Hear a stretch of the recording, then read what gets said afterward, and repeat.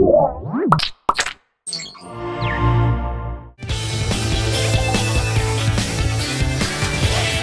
episode of App Judgment is brought to you by Netflix. Hey everyone, it's Annie and welcome to App Judgment, your source for mobile app reviews from Revision 3. Starting tomorrow, we've got two weeks of Winter Olympics to sate your appetite for triple lutzes, sick luges, and always lots of sequins. To get in the spirit this Olympic season, check out Cowbell 2010, a 99 cent app that gives you a flag emblazoned cowbell to help cheer your team on.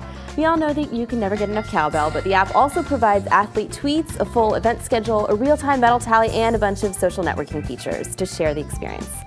But if 99 cents is too rich for your blood, you can also download NBC Olympics on AT&T for free. And by the way, we were all set to review an app called Sonic at the Winter Olympic Games. A fun game, but it actually ended up getting pulled at the last minute for reasons unknown, but maybe we'll see a different version soon in the App Store. Now, as this episode is airing, we are at Macworld 2010 getting the scoop on what's hot, what's new, and what's coming up for the iPhone, so you won't want to miss our special Macworld episode airing on Tuesday.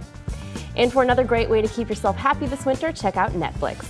Netflix delivers movies directly to your home, saving you time, money, and hassle. As a Netflix Unlimited member, you get DVDs by mail in about one business day.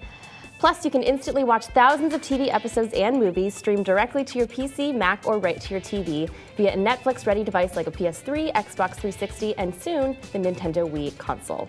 As a new member and an App Judgment viewer, you can get a two week free trial membership. Go to netflix.com slash AJ and sign up now. And be sure to use this URL so that they know we sent you.